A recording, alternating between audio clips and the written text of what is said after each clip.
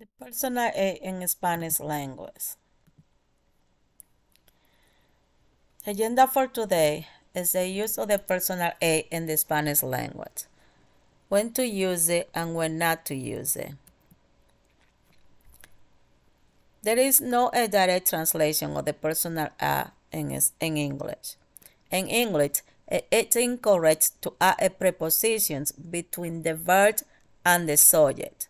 However, in Spanish, eh, it's important to add the prepositions a. Without the prepositions, the sentence will be incorrect. For example, in Spanish, we say, visité a Josefa, while in English, we simply say, I visited Josefa. The personal a is often confused with the preposition a. However, it's not the same. Be aware that the personal a is only used when referring to a human being. When to use the personal a in Spanish? We use the personal a in Spanish when the direct oye is a person. For example, comprendo a Julio. I understand Julio with indefinite, interrogatives, and relative pronouns, such as alguien, alguno, nadie, ninguno, cualquiera, cual, quien, etc., referring to people who are the direct object of a verb that do not use other prepositions. For example, ¿a cuántas clases de español faltaste? How many Spanish classes did you miss? It's also used to avoid confusion between the object and the verb. For example, la expresión, la represión busca controlar a la comunidad.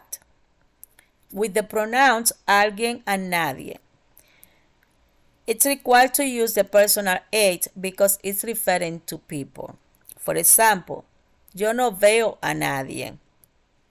I do not see anyone or with the other sentence. For example, like, tienes que decirle a alguien.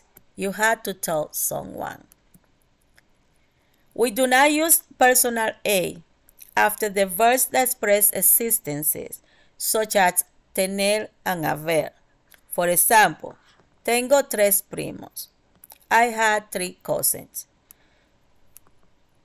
We do not use the personal A also with collecting nouns or we're not referring to un specific people. For example, buscamos una actriz. We are looking for an actor. Remember, as I said before, that the personal a is only used when we are referring to a human being. That's the reasons that we call it personal a. The only time the personal ah, a is used after tener is to emphasize the importance of the person in the sentence.